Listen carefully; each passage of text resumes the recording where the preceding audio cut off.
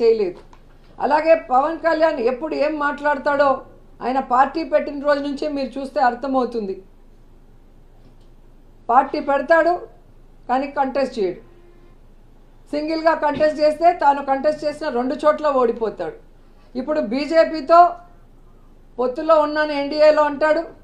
ఇక్కడేమో బీజేపీతో సంబంధం లేకుండా తెలుగుదేశం పార్టీతో పొత్తు పెట్టుకోవడం చూస్తుంటే ఇతనికి ఏమైనా విలువలు ఉన్నాయా అని అర్థం చేసుకోవాలి రాష్ట్ర ప్రజలను కూడా ఈ సందర్భంగా తెలియజేసుకుంటున్నా. ఈ మధ్య చంద్రబాబు నాయుడు గారు కోర్టులో అన్నాడు నాకు హెల్త్ బాగాలేదు నాకు రెస్ట్ కావాలి రెస్ట్ కావాలి అని.